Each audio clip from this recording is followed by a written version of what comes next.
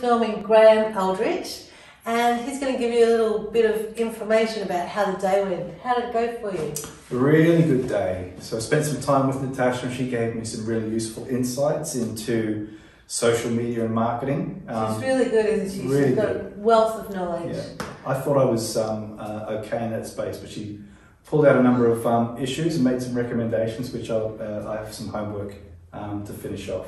Yeah. Um, and, and the day setting up here in the in the studio, uh, providing guidance on, uh, on, on how the day would unfold. So um, it, it, it, made it a really enjoyable experience, a lot of fun. Well, we certainly had a lot of fun too, and I just love to be able to come into artist studios and get to know you so much better. And mm. it's enjoyable day. It is can be quite intense too because you're thinking quite a lot, but uh, we do have a good time too, don't we? Absolutely, a lot of fun. so if you want to um, hear more about it, you can come to colourinyourlife.com.au and uh, or you can just email admin at colourinyourlife and ask us some questions. See you there. Bye.